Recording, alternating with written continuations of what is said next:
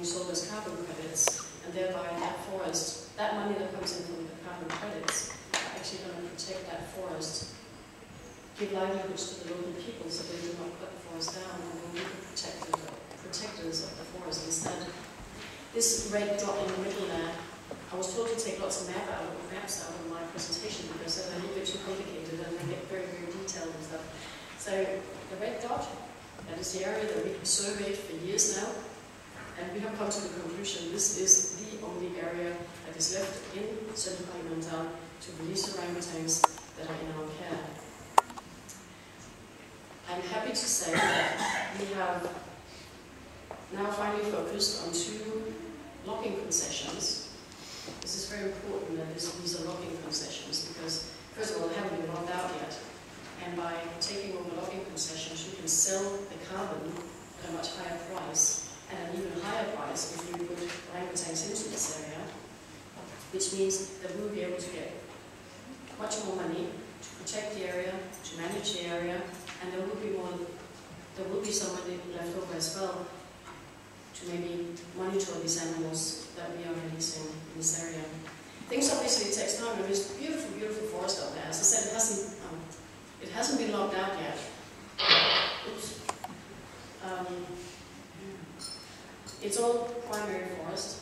It's very, very, very beautiful.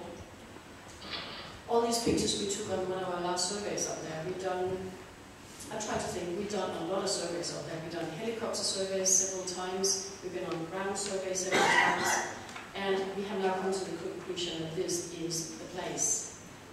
It is not under threat. The government are very um, positively minded to give us these local concessions. And we're talking about an area of no less than 200,000 hectares.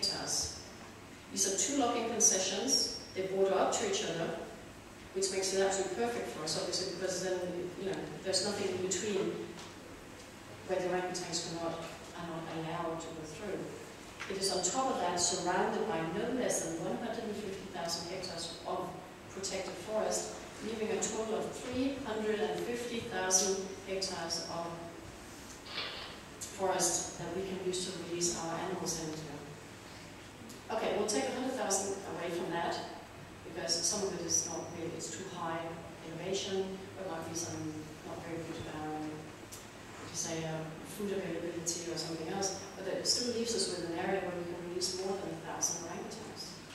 That means that it's not just the orangutans we have in our care, but there's another care center um, that the Orangutan Foundation International runs that has over 300 orangutans in their care at the moment. We can all use this area to release animals. We're already at the moment dealing, oh, I was just going to say actually, we have already released 107 orangutans up in this area. And I have just recently met up with uh, a big company in Singapore that is called Carbon Conservation. And they're going to help us sell this carbon so that we have a chance to get as much money as possible per ton of carbon that this, these areas would normally produce if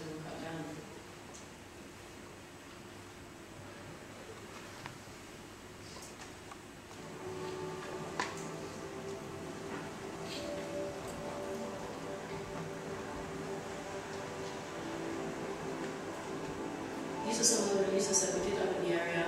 It's a wildlife text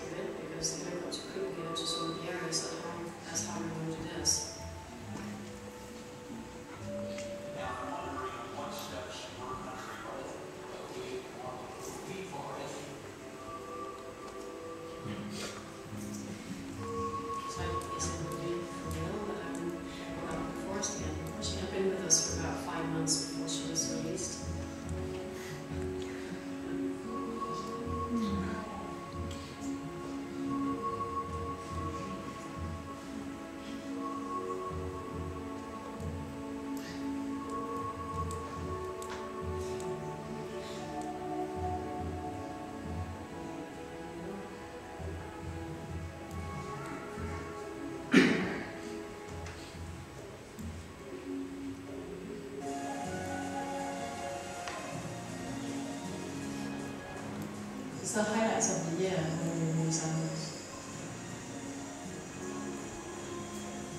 If you to hear me sobbing.